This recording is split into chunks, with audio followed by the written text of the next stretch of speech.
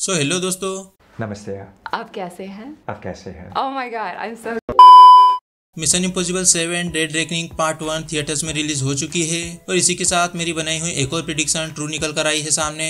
यकीन ना हो तो ज़रूर चेकआउट करना उस वीडियो को। बाकी देर से ही सही लेकिन हम बात करेंगे मिशन इम्पॉसिबल सेवन के ऊपर। इसका हम एक छोटा सा स्पॉइलर फ्री रिव्यू करेंगे और साथ ही में बात करेंगे मूवी की एंडिंग के ऊपर और डेड रेकनिंग पार्ट टू के ऊपर भी। सो ज़्यादा टाइम वेस्ट न करते हुए लेट्स बिगेन बात करें मूवी के बेसिक स्टोरी प्लॉट की आईएमएफ यानी कि impossible mission force Ethan Hunt और उसकी टीम को एक मिशन मिला है न्यू वेपन को ट्रेक डाउन करने का, जो कि ह्यूमैनिटी के लिए एक थ्रेट बना हुआ है। और अगर गलत हाथों में चला गया तो इंटायर वर्ल्ड के लिए थ्रेट बन जाएगा। अब ऐसे में वह वेपन क्या है और कहाँ पर है, यह सब कुछ पता लगाने का मिशन इथन और उसकी टीम का है।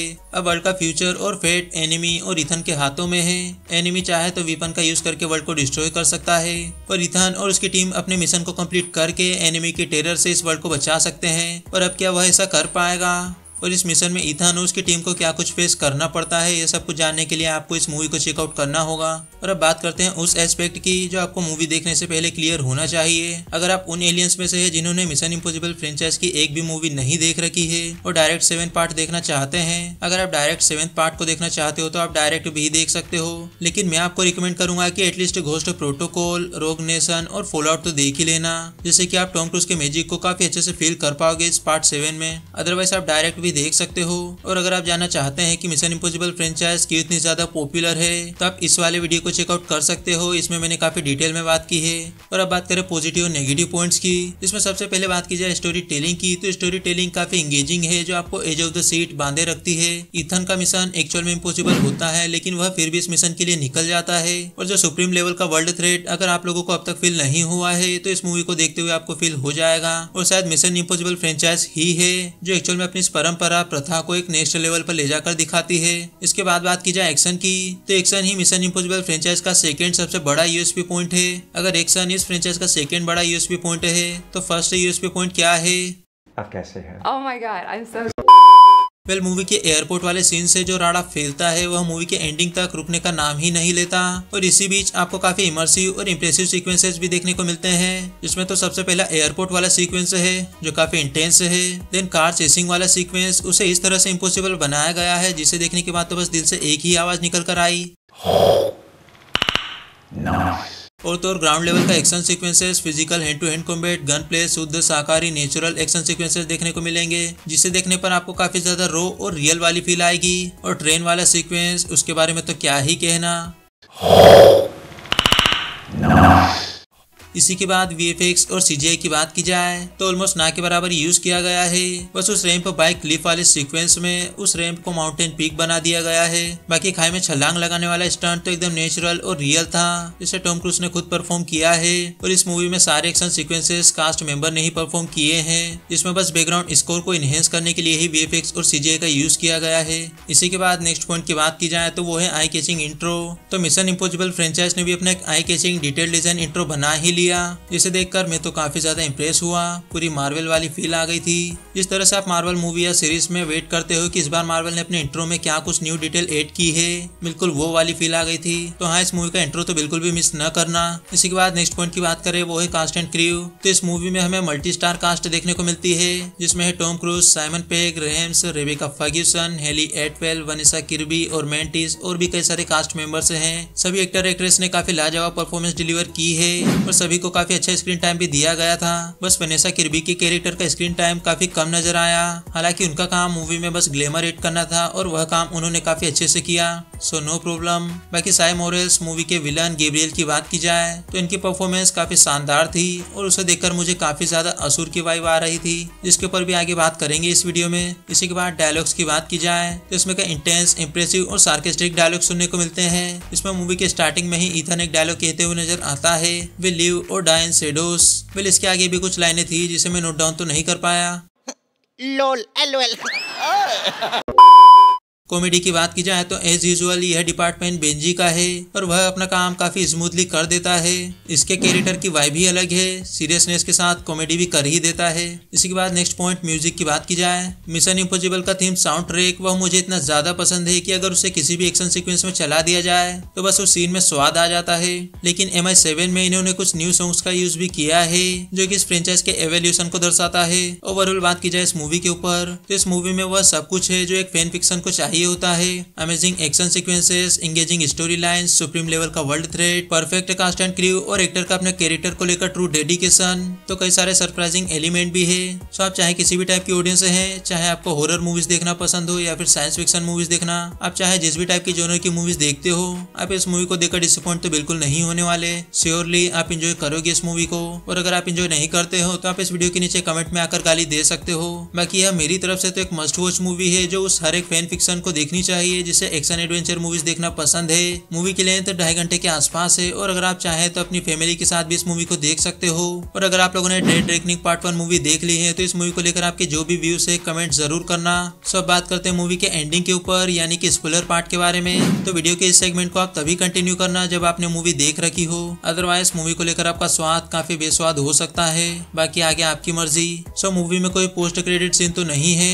बस एंडिंग है, जिसे देखकर फ्यूचर को प्रिडिक्ट किया जा सकता है और वह एंडिंग भी मूवी की स्टार्टिंग में ही दिखा दी गई थी। और मूवी की उस स्टार्टिंग को एंडिंग तक काफ़ी अच्छे से मिस्ट्री बनाकर रखा गया था। मूवी में इथान उसकी टीम जिस भी टेरिफाइंग वीपन को फाइंड आउट करने में लगी हुई है, वह और कुछ नहीं, एक आर्टिफिशियल इंटेलिजेंस एंटिटी है। इस आप सोर्ट ऑफ़ एक रियलिस्टिक अल्ट्रॉन भी कह सकते हो। और इस एंटिटी की ओरिजिन फ़िलहाल के लिए तो अननोन है, पर हम एज्यूम करके चलते हैं कि इसे गवर्नमेंट ने मिलिट्री के लिए जब वीपन और सिक्योरिटी के पर्पज से बनाया गया था। लेकिन यह एंटिटी काफ़ी ज़्यादा इवोल्व हो चुका है और अपना सोर्स कोड भी चुका है, जिसके सोर्स का पता अब किसी को भी नहीं पता। यह एंटिटी इतना पावरफुल तो हो चुका है कि दो देशों को आपस में भिड़वाने का काम कर सके। अब बस इसे कम्प्लीटली इवोल्व होने के लिए बस एक की की ज़रूरत है। वह की जो हमें इल्सा पोस्ट के पास देखने को मिली थी। और मुझे बड़े दुखद के साथ यह बात कहनी पड़ रही है कि इल्सा के कैरेक्टर को फ़िलहाल के लिए एक टेम्परेरी डेथ प्रोवाइड कर दी गई है। वेल एंटिटी को चाहिए की और इसके लिए वह विलन गेब्रियल को सबके पीछे लगा देता है। और इस गेब्रियल के कैरेक्टर को देखकर मुझे काफ़ी ज़्यादा असुर वाली वाइब आ रही थी। जिस तरह से यह कैरेक्टर अपनी बातों को लेकर कॉन्फिडेंट रहता था। उसे तो हाँ काफ़ी ज़्यादा वाइब आ रही थी। और मैं पहले भी अपने वीडियो में यह बात कह चुका हूँ कि हॉलीवुड इस चीज़ को कॉपी करेगा। लेकिन अब इस बात को कहने का कोई सेंस नहीं बनता, क्योंकि डेड रेकनिंग पार्ट वन और टू पर 2018 के बाद से ही काम चालू हो गया था और असुर का सीज़न वन 2020 में आया था और डेड रेकनिंग पार्ट वन 2023 में आई है और असुर टू भी 2023 में ही आया है। अब यहाँ पर कॉमन सी बात यह है कि दोनों प्रोजेक्ट जब बन रहे थे तो मेकर्स ने एक दूसरे को कॉल करके यह तो बिल्कुल भी नहीं पूछा होगा कि मैं अपनी मूवी में इस चीज़ को दिखाने वाला हूँ, तुम भी अपनी मूवी में इस चीज़ को दिखाना।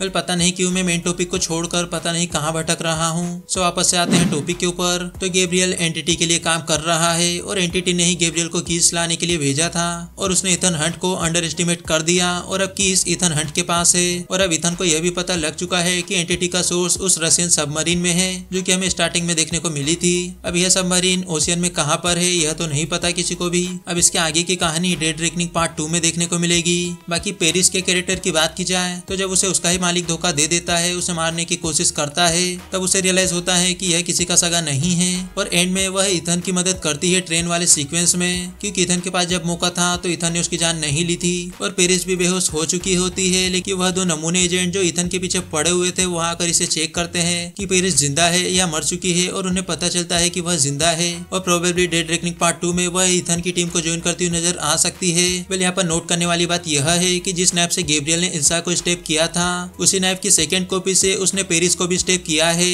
लेकिन पेरिस ज़िंदा है और इल्सा मर चुकी है। तो यहाँ पर मुझे इल्सा की डेथ को लेकर थोड़ा सा डाउट है कि पार्ट टू में इल्सा का कैरेक्टर हमें ज़िंदा देखने को मिल सकता है। इस बात की टेन परसेंट पॉसिबिलिटी है कि इल्सा का character dead reckoning part two में रिटर्न करेगा और इस बात की नब्बे परसेंट पॉसिबिलिटी है कि उसका कैरेक्टर रिटर्न नहीं करेगा।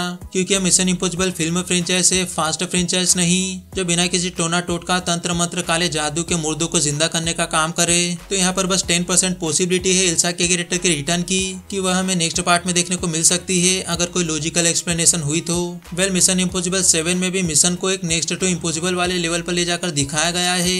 और इस मिशन को बाकी मूवीज़ में दिखाया गया इम्पॉसिबल मिशन से एक अलग ही लेवल पर ले जाकर दिखाया गया है। और यह तो एक ज़ाहिर सी बात है कि हर एक मिशन इम्पॉसिबल मूवी में आपको एक इम्पॉसिबल मिशन दिखाया जाता है।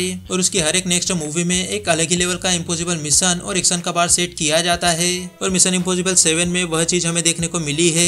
तो अब बस इमेजिन ही किया जा सकता है कि mission impossible eight dead reckoning part two में हमें किस लेवल का इम्पॉसिबल मिशन और एक्शन का लेवल देखने को मिलेगा। बस एक बात क्लियर है कि टॉम क्रूज स्पेस में जाने वाला है डेड रेकनिंग पार्ट टू के क्लाइमेक्स के लिए और हाँ वह रियल में स्पेस में जाने वाला है एलन मस्क का रॉकेट लेकर। कोई ग्रीन स्क्रीन वाले वीएफएक्स आपको देखने को नहीं मिलेगा स्पेस वाले सीन में। तो डेड रेकनिंग पार्ट टू के इम्पॉसिबल मिशन का लेवल तो ऑलरेडी सेट हो चुका है कि वह किस लेवल का होने वाला है और हमें किस लेवल का एक्शन देखने को मिलेगा उसमें। सब इतनी सारी बकवास का एक कंक्लूजन भी निकाल लिया जाए। तो एंटिटी को इवोल्व होने के लिए चाहिए कीस, और वह कीस है इथन के पास, जिसे लेने के लिए गेब्रियल वापस आएगा। क्योंकि उसे भी रियलाइज़ हो चुका है कीस उसके पास नहीं है, और अब वह इथन के पास आएगा तो यकीनन खाली हाथ तो वापस नहीं जाएगा। और इल्सा के कैरेक्टर के रिटर्न की टेन परसेंट पॉसिबिलिटी भी है।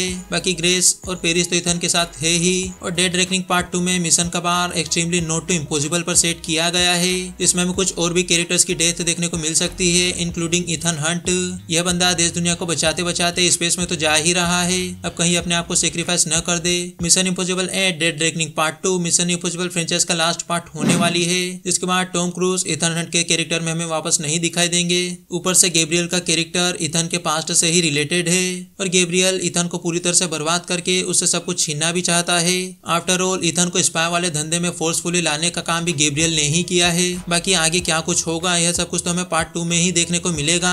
इसकी रिलीज़ डेट भी सेट हो चुकी है ट्वेंटी जून टू यानी कि नेक्स्ट ईयर और यह रिलीज़ डेट शायद आगे भी बढ़ सकती है। बाकी Tom Cruise mission impossible dead reckoning part one part two इन्हें लेकर आपके जो भी व्यूज़ है, आपकी जो भी थ्योरीज है, आप कमेंट में मुझे बता सकते हो। मैं उन्हें ज़रूर रीड करना पसंद करूँगा।